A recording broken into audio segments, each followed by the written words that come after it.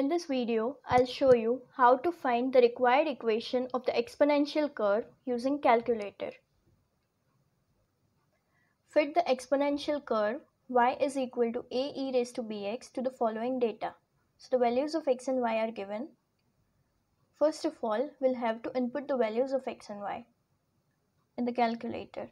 For that, click on mode, set it on regression, press 3 then as this is an exponential curve so again press 3 that is exp after that input the values of x and y.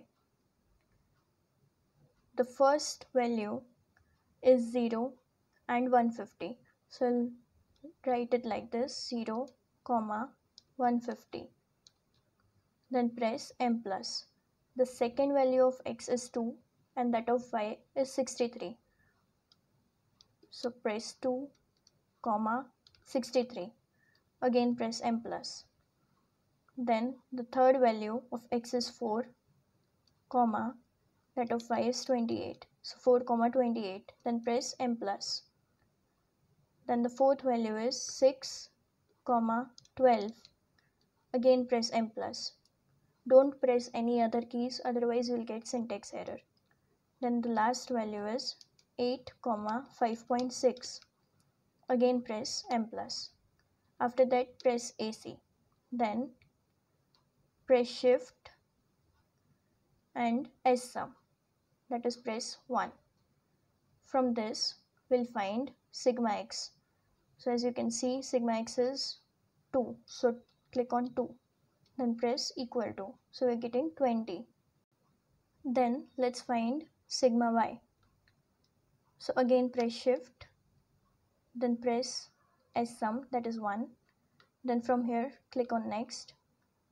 As you can see sigma y is on 2 so press 2 then press equal to so we're getting 16.6936 then press shift 1 find sigma x square. So press 1 then press equal to so we're getting 120 same way you can find out sigma xy. Press shift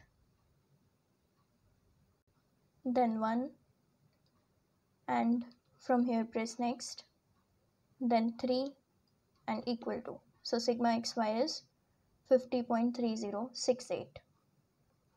In this video, I'm not showing you how you can solve this example step by step in detail. For that, I have already uploaded a video. You can see that.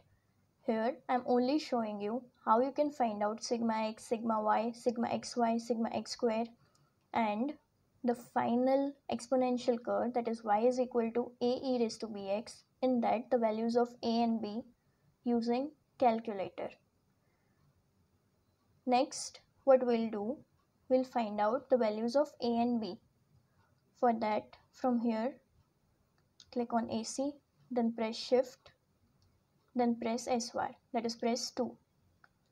From here, press next, again next.